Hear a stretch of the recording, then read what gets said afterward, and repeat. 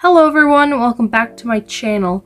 For this week's video, I decided to do a couple of realistic portraits. I've been wanting to get more into that, and then I did my own in sort of a more realistic style. We're just gonna jump right into it. I started out with this guy in a trash can. Not much else to say. It's a guy in a trash can. Uh, this was actually pretty fun to draw. I most I was mostly uh using the drawing as a reference, but I did end up end up outlining a lot or all of the drawing and then using it as guidelines, like a little under sketch, because I could just not get the proportions right. Um, I'll probably be doing this for more realistic portraits with uh, with on digital because it's easier and I don't want to spend a lot of time on them. But if I'm looking at it from a uh, traditional, like with paints, I would not be able to do the same thing. I could probably do something similar with a stencil, which I have done, but yeah. Uh, this guy was super fun to draw. I have no idea who it is. He looks familiar. I just don't know who it is. Um, yeah. Don't know really uh, what else to say about that. Uh, I will say sorry for missing last week's video. Um, yeah, I got really busy. The last drawing that I did for this video, um, I was still working on on last Sunday that this video was supposed to come out. And I am now recording my voice lines the Saturday before the this is supposed to come out, which was supposed to be a week ago. If that makes sense, which it probably doesn't. Yeah. Considering it's been it's spring break technically, it's coming to an end. Uh I was busy. I did not get a lot of time to just do a lot of art. I'm I get it all at the end. Which which is a bummer, but still, I do I did get to do a little bit of some digital art and some painting a little bit. That's probably going to be next week's video because I did record it. Um, it's for a video that I've I teased like three videos ago, two videos ago. Um, it's taken a lot longer than I thought it would, and a lot longer than it should have. But Anyway, unfortunately, spring break is coming to an end. So, and yet I'll have more time to do my own stuff because I'll have like a set plan. With spring break, I didn't really have a set plan. I was just told to do things. I had to help my mom with some work stuff, which I did. And every other free day, I was cleaning up my art room because that really needed to be cleaned. Uh, if you know how bad it was, then you know. yeah. But that's this drawing, and that's my rant of today. Uh, this guy was super fun to draw. I really enjoyed drawing his shoes. That was really fun to, for me for some reason. Not the face. The face was a pain. I thought it would be fun. But the shoes were where I had the most enjoyment for some weird reason. I just really liked drawing the shoes. For this second drawing, I immediately started with doing the sketch of the original photo and then to use as sort of guidelines. And for this one, I thought it'd be interesting to see if I could try to mix my own colors. Uh, I did not go through with that. Um, I was trying to see if I could do traditional stuff in in digital form. It didn't work. I think I've tested it before and it didn't work either. So I don't know why I tried it. But this was fun. This one was really fun to draw. I really enjoyed this. The face, I mostly just wanted to do a face. And this person had like really nice shadows and really nice highlights. and I had like the most enjoyment I have in a long time for a portrait.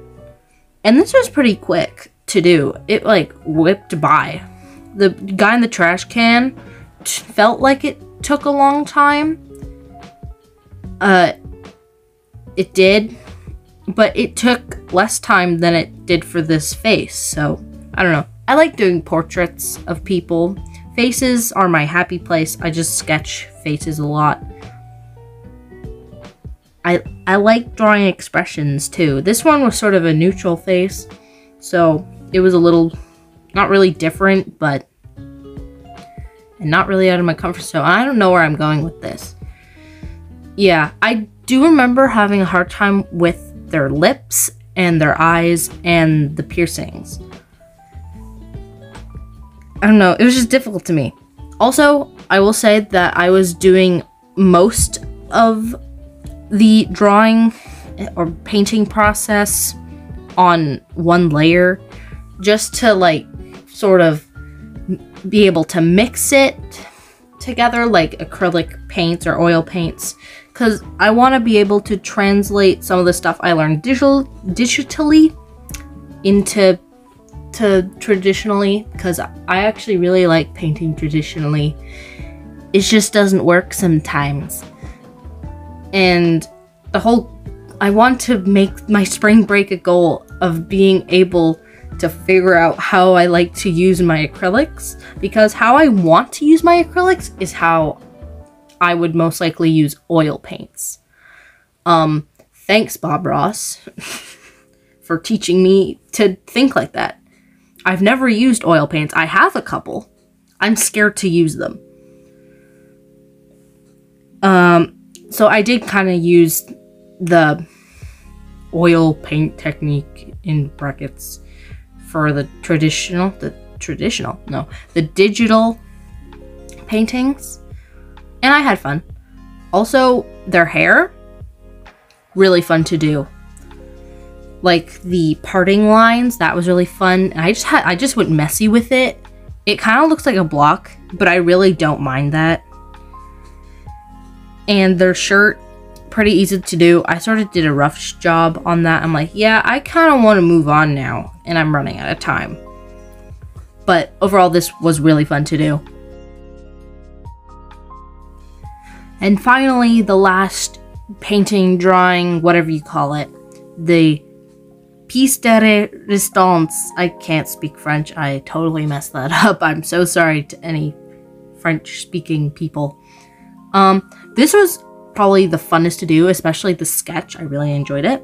This is one of my own characters. She's an angel. She's very pretty and she's also kind of creepy because I was also inspired a little bit by the biblically accurate angels. She does have a biblically accurate angel form. I didn't draw that. I drew her as a pretty lady. Um, I did completely draw this from scratch. I wasn't really using a reference. The only reference I had was unused, and it's in my old sketchbook. And it's a full body. It's not really a close-up of her face. Um, this took a long time. While the other two drawings took about an hour 45, an hour 30 minutes to an hour 45 minutes, this took about three hours. Three hours! I have spent like over like I can't even make up a number like hmm what's the like 13 hours I think one of them was for realistic portrait when I was still learning how to do it I've gotten a lot quicker and I like the messy style as well the main objective for me is never to go smooth it's always to look sort of painterly. I don't know, I like painterly stuff. I've been watching a lot of portrait painting shows. The uh, British, this is British one. But I was very inspired by one of the artists. He actually won in the season we were watching, me and my family. And I was a little bit inspired by him because it's very messy, his style. And it's really cool. Um, so I brought this, that into sort of my style. While I was sort of working on the face, I kept going back and forth from what of what she looked like. At first, she looked like White Diamond from Steven Universe. And then as I was drawing the eyes, I thought, huh, she looks like Sans from Undertale. and I kind of went with that and added like some yellow in the eyes as well. That was really fun. It, I think it brings it together really well. She basically is just a mixture of Sans, White Diamond. There were like other people that I thought she looked like as well, but I don't remember them now. I think I was thinking of a uh, certain elf from Lord of the Rings. I don't remember her name. Not Galadriel. But, yeah. The gradient on her hair was really hard to do. She has a fade from black to white. That was almost impossible to do. Not almost, but yeah. And I did struggle with her braids. Her hair kind of looks like a big blob, but I kind of don't mind it. It's kind of cool. It's kind of cool. Uh, her halo came out awesome. Her eyelashes on point. Her ear wing things could be better, but I'm not mad about them.